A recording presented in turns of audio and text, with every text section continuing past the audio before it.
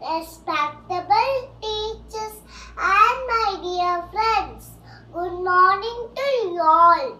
My name is Madhushri. I am studying in grade 1G. Today I am a traffic light. My